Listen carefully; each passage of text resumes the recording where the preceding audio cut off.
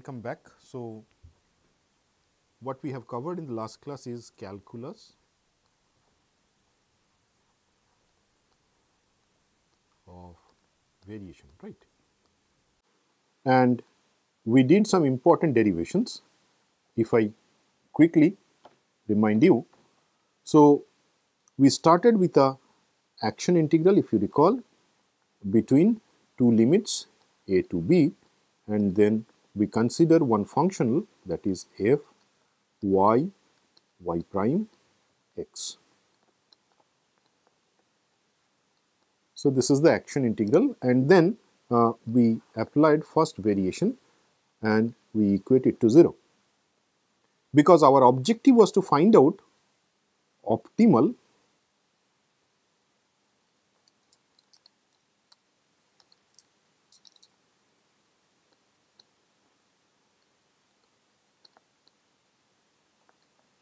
uh, solution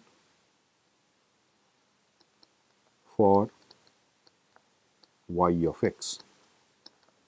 What does it mean? Uh, we call it a stationary condition if you recall stationary condition right. So, effectively what we do we consider a weak variation and then y of x over that we actually consider a weak variation and then uh, the variation this weak variation it vanishes at the boundary. So, this is the very important property that we use. Then once we use this expression, we derived two very important equation. One is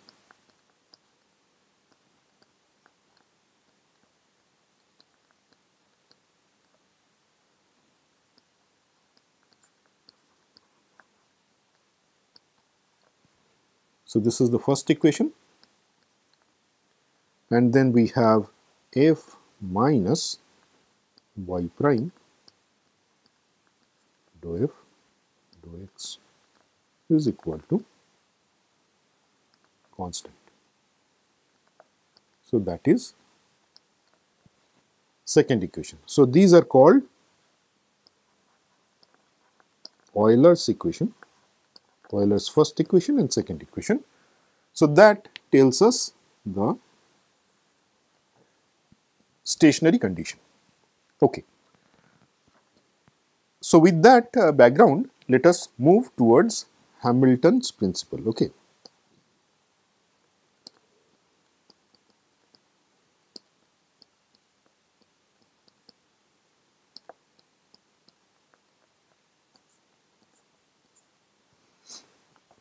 And if you recall,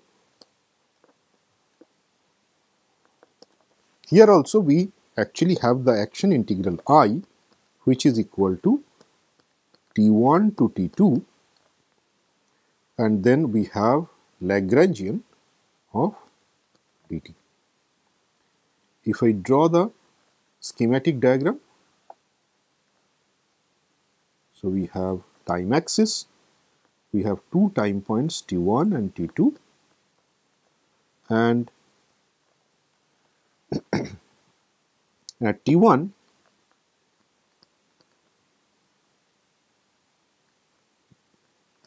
the particle is at A and T2 it uh, is at B. So, this is our QK and the question is which path is uh, going to be followed and that is the reason we first defined the theory of calculus of variation very briefly obviously because we will use that uh, for the action integral we have in case of Hamilton's principle. Now again in this case we can apply this weak variation, uh, we will do that in a minute, but the Hamilton's principle tells us that the first variation over this action integral is equal to 0. So, we will see today if we do that what we get. Now, we have this action integral which is equal to T1 to T2 then L of dt so that we can write T that is the kinetic energy of Qk and then Qk dot minus the potential energy Vk integrated over the time instant t1 to t2. Obviously, in this case again uh, we can take this first variation inside. So, what we have t1 to t2 then this first variation will go inside. So, what we have delta t I am not writing this uh, bracketed term. So, then minus delta v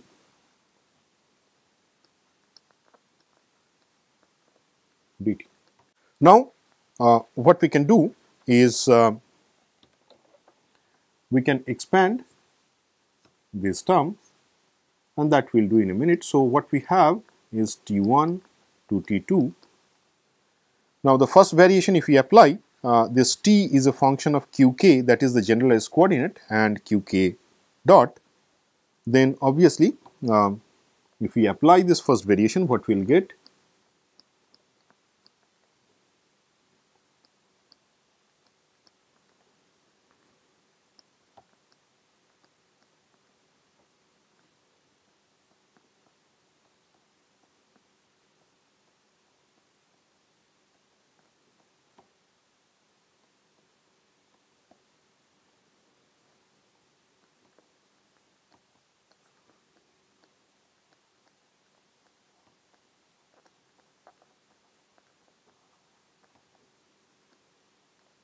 right. So, that is the expression we have uh, when we um, consider this first variation. Now, uh, obviously, uh, what we can do, we can see we have a qk delta qk here and another is there. So, we can simplify this expression. So, we have T1 to T2. First expression will be dou dou qk within bracket t minus v times delta qk plus we have the second term as is it is not going to change. So, that is the expression we have. Now, if we look at the second term, obviously it is integral between T1 to T2, then this quantity. And this we can further expand because we can perform this integral. And for that what we do is uh, we consider first function and second function. So, uh, this is our first function and this one is the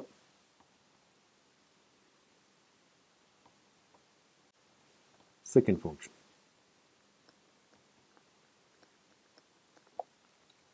And then what we do is uh, we first expand this integral. So, T1 to T2 first expression will remain as is T minus V. By the way, we can actually uh, simplify this T minus V is the Lagrangian. So, we have Lagrangian times delta Qk dt plus then T1 to T2. So, you have the first function and then uh, we have the second function. But if you look at the second function, it is the variation over qk dot. So, what is qk dot? Uh, qk dot is equal to d dt of qk.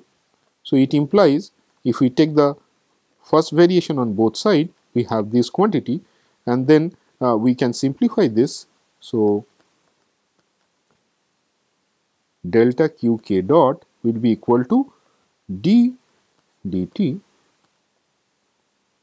delta qk. So, we can uh, modify this expression and that will do here. So, we have d dt then delta qk dt. Fine. So, we have our first term, first function and second function. So, this term will remain as is. Then for this expression because we have already considered first function and second function, then uh, obviously uh, we will have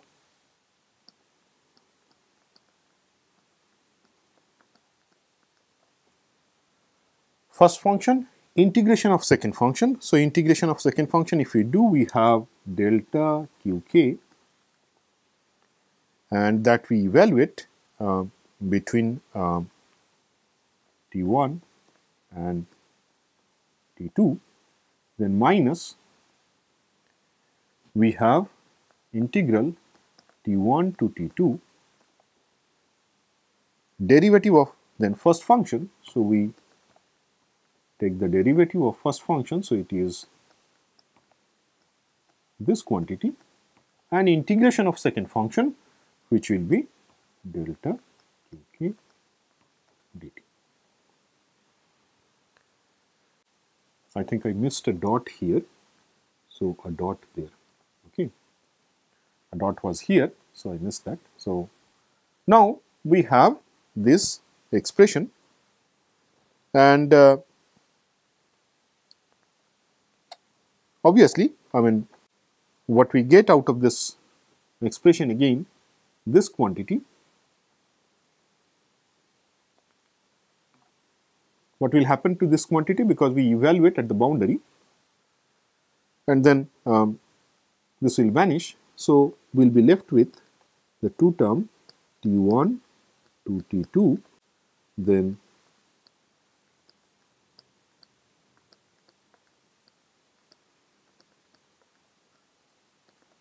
minus we have T1 to T2 d dt. Then we have um,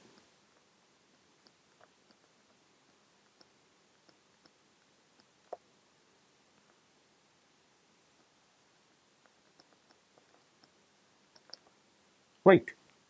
Now, if you look at this expression again, uh, it is the partial differential of t with respect to qk dot.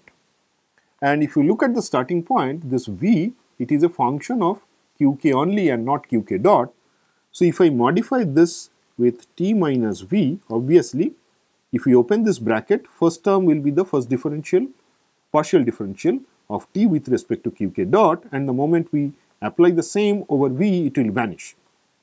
So, effectively, we can modify this expression and ultimately this is nothing but the partial differential of the Lagrangian with respect to qk dot.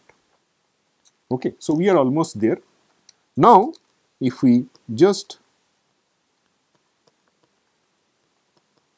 combine these two, so what we have dou L dou Qk minus d dt times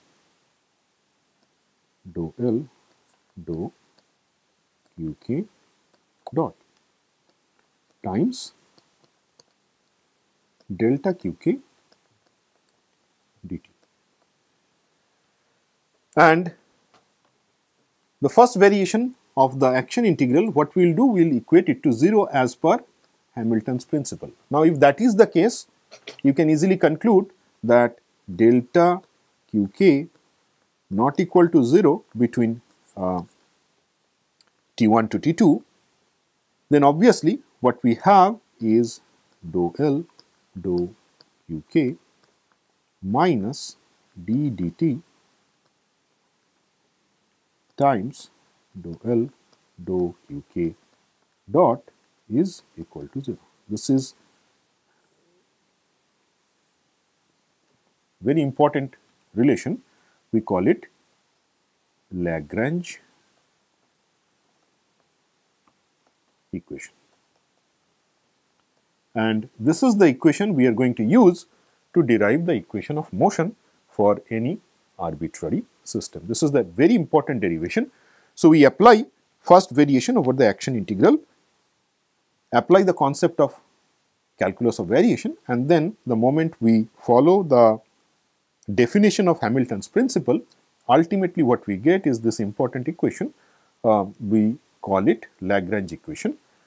And then uh, we will see this is a quadratic uh, equation because we have this uh, ddt operating over this partial derivative with respect to qk dot.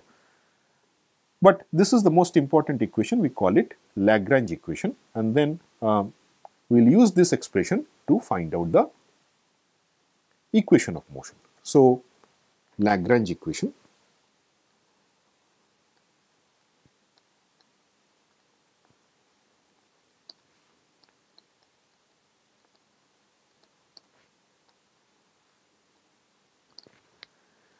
So, what is that equation? It is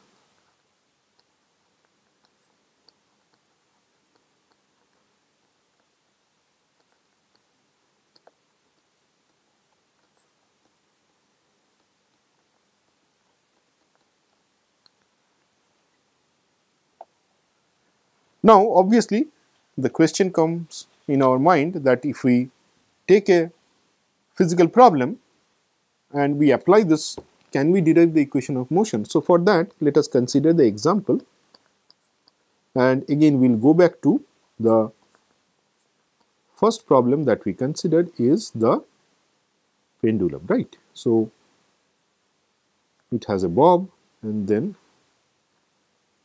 that moves to the new position. And the degrees of freedom in these cases theta we also can define the physical space.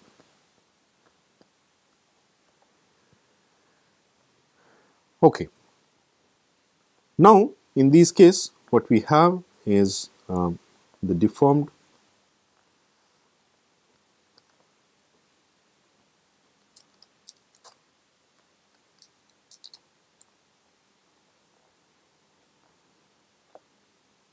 geometry. So, uh, the length of the chord is L. So, this is L. Obviously, if we apply the coordinate geometry, we get this is L minus L cos theta and then this is L cos theta. So, we will apply Lagrange equation to derive the equation of motion. For that, we have to first find out the expression for Lagrangian. So, this is L is T minus V. Now, if you look at the position of this bob, so at theta, uh, we can actually calculate the kinetic energy. What will be that? It is half mass of the bob and then um, what is theta? Theta is equal to S um, by L. So, that means S is equal to L theta and obviously ds dt is equal to L d theta dt. So, this is S the curved path and because we are considering small uh, deformation. So, uh, we get this expression. Now,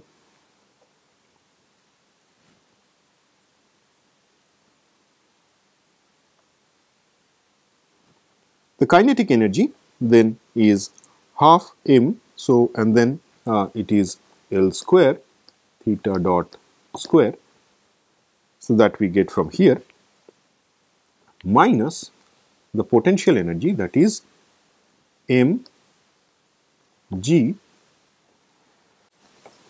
L minus L cos theta. So, that is the Lagrangian. So, it is a function of again theta, theta dot and t.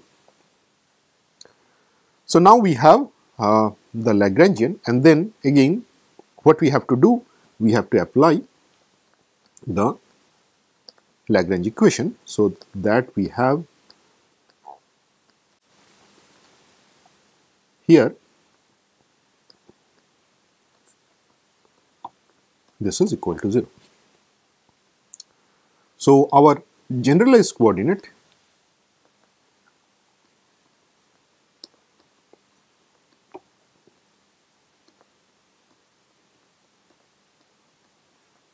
in this case is theta.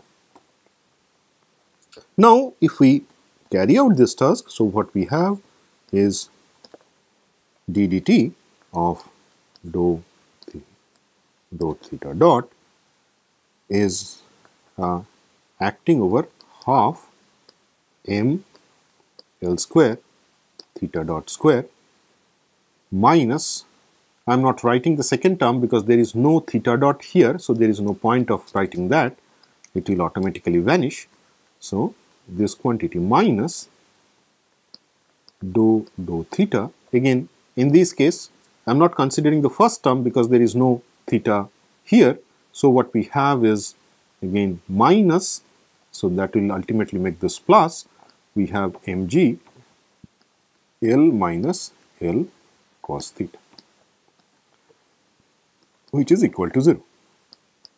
So, if we carry out this task what we have d dt then we have here half m L square, then we will have 2 theta dot plus the first term in the this expression will be 0. So, what we have is dou dou theta applied over minus L cos theta. So, it will be L sin theta is equal to 0. Then again these two will get cancelled and now if we apply d dt, what we'll have m L square theta double dot plus L sine theta is equal to 0. Now, we have already uh, started with the assumption that our theta is small. So, we have m L square theta double dot plus L theta is equal to 0. I think I have missed one mg term. So, we have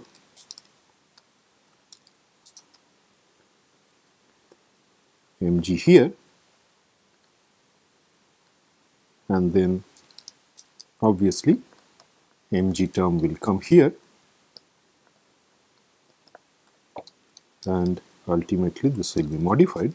So, mg l theta equal to 0 and then finally what we get is theta double dot plus g by L theta is equal to 0. So, this is the equation we derived earlier using um, equilibrium condition at the beginning of this course, right. So, we get again the same equation when we apply Lagrange formulation and then uh, what is the natural frequency in this case? Omega n square is equal to g by L, right. It's the same expression. So, you can see the Lagrange equation actually offers us the governing equation of motion. In this case, it is a second order linear differential equation that we get applying the Lagrange equation. So, first what we do? We find out the Lagrangian that means kinetic energy and potential energy and then we apply this expression that comes from the calculus of variation and then it effectively optimizes what? The solution of this quantity is what? Theta of t, right? That is the generalized coordinate. We already and describe that. So, this theta of t will obviously optimize the action integral. So, we get the path between t1 to t2 that offers us the stationary condition that means first variation of the action integral is equal to 0. So,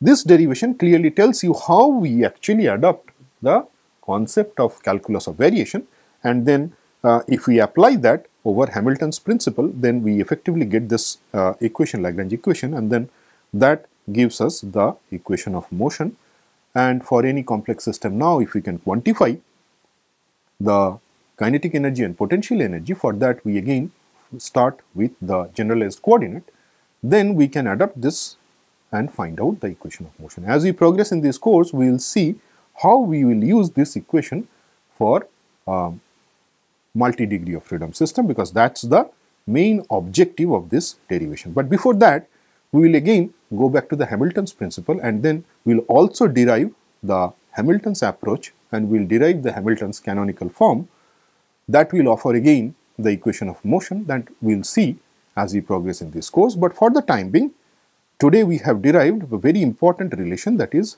Lagrange equation and we optimized a functional and for that we use the concept of variation and then if we do that the example tells us that we get the same set of equation of motion for the same system. So, that convinces us that we can easily adapt this uh, equation, this actually this qk for all k, k equal to 1 to n. So, we will get a set of equations for multi-degree of freedom system. So, this discussion tells us how we are going to derive the equation of motion for multi-degree of freedom system. So, with that let me conclude here. We will continue in the next class on Hamilton's principle. Thank you very much.